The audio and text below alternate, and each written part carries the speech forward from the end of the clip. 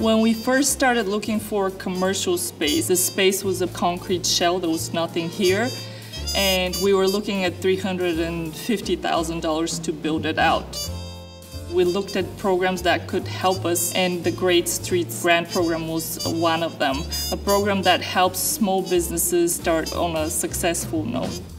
This is a business where you bring joy to people. It made me think, how am I going to benefit the community? Because that was a huge part of the program.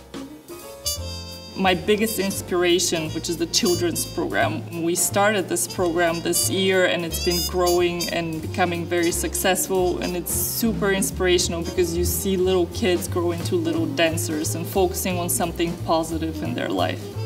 I'm extremely grateful to the Great Streets Grant Program and the DC Mayor's Office. I'm living my dream and I could not have asked for more.